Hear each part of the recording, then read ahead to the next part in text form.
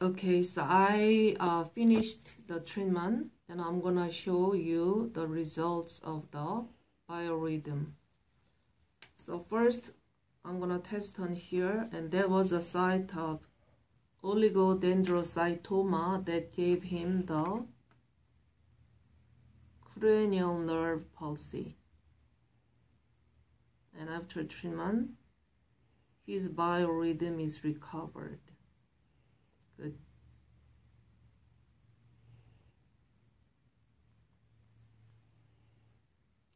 So oligodendrocytoma cancer will be destroyed and he's gonna recover optimum cranial nerve functions.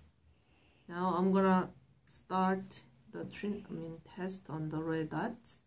It was the damaged neurons at cranial nerve 4 and all the damaged neuron sites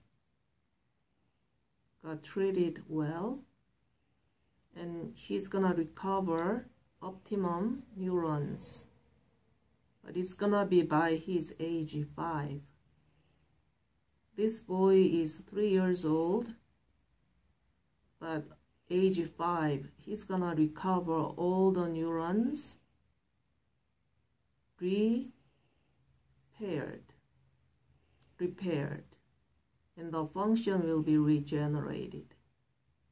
So he's gonna be very normal eyelids and eye shape also.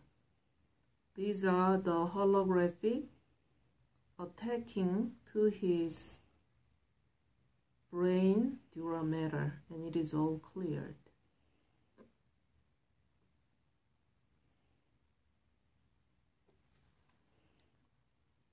On his backside of the head also. Had lots of attacking. Dimensional.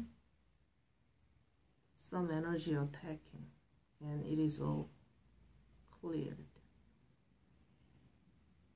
Good.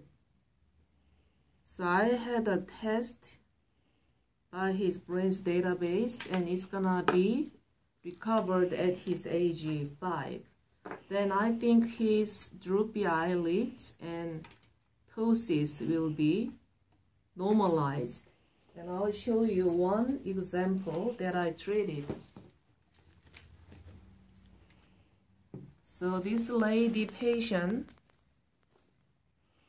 when she came into my clinic, I noticed that